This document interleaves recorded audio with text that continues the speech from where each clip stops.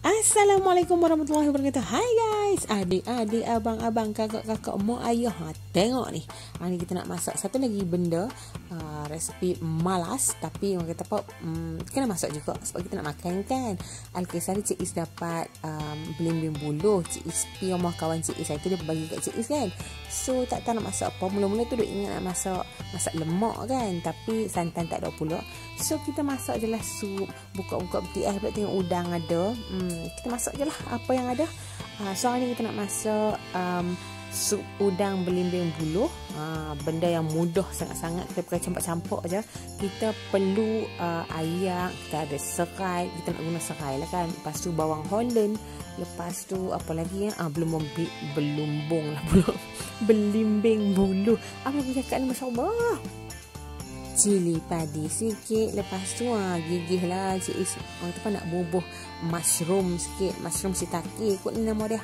Ha, senang saja.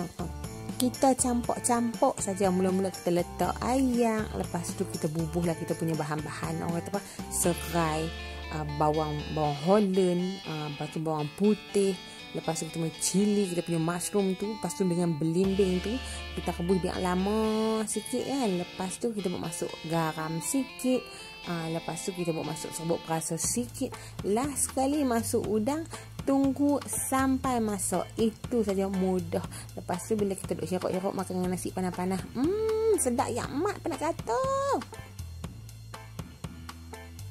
Lepas ni Cik Isak pun nak dengar dah nak ada adik-adik muda kita eh, heroin-heroin anak darah kata tak kata nak masuk. Ha, bertengok ni punya senang mudah kalau hampa kata tak kata nak masuk lagi itu bukan tak kata nak masuk itu nama dia penyegan balok tak ada dah. Hampa jangan bagi orang perempuan malu nak tak mau. Angkat sikit martabat kaum wanita. Ha, zaman zaman lo ni orang perempuan semua boleh tunjuk sikit kaum lelaki biar bagi terbeliak je mata depa.